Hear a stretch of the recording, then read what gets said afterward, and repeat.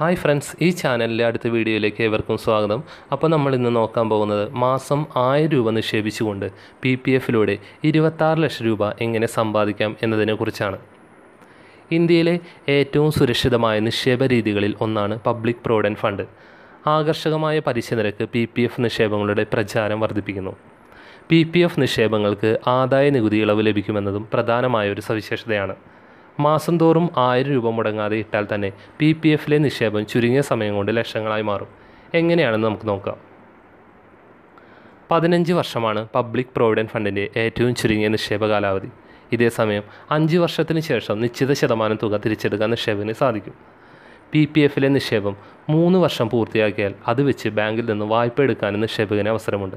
എന്തായാലും പതിനഞ്ച് വർഷം കൃത്യമായി ആയിരം രൂപ വീതം പ്രതിമാസം നിക്ഷേപിച്ചാൽ കാലാവധി പൂർത്തിയാകുമ്പോൾ ഒരു ലക്ഷത്തി എൺപതിനായിരം രൂപയായിരിക്കും നിക്ഷേപിച്ച തുകയായി പി പി എഫ് അക്കൗണ്ടിൽ ഉണ്ടാകും ഒപ്പം നിക്ഷേപിച്ച തുകയിന്മേൽ ഒരു ലക്ഷത്തി നാൽപ്പത്തയ്യായിരം രൂപ പലിശ വരുമാനം അക്കൗണ്ട് ഉടമയ്ക്ക് ലഭിക്കും.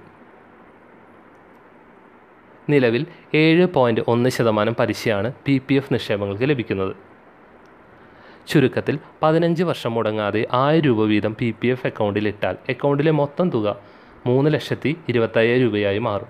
പതിനഞ്ച് വർഷം കാലാവധിക്ക് ശേഷം വീണ്ടും വരും അഞ്ച് വർഷം ആയിരം രൂപ നിക്ഷേപം നടത്തുകയാണെങ്കിൽ ഇരുപത് വർഷമാകുമ്പോഴേക്ക് അക്കൗണ്ടിലെ തുക മൂന്ന് ലക്ഷത്തി ഇരുപത്തയ്യായിരത്തിൽ നിന്നും അഞ്ച് ലക്ഷത്തി മുപ്പത്തിരണ്ടായിരം രൂപയായി ഉയരും.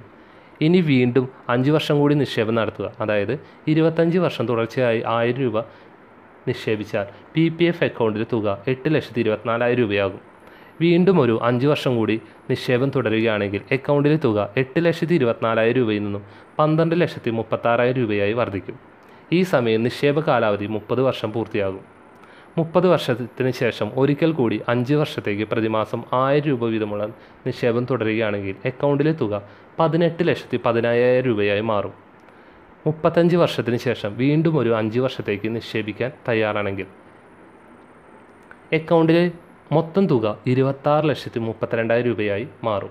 അതായത് നാൽപ്പത് വർഷം മുടങ്ങാതെ ആയിരം രൂപ വീതം മാസമിട്ടാൽ പി പി എഫിലെ നിക്ഷേപം ഇരുപത്താറ് ലക്ഷത്തി മുപ്പത്തിരണ്ടായിരം രൂപയായി മാറും.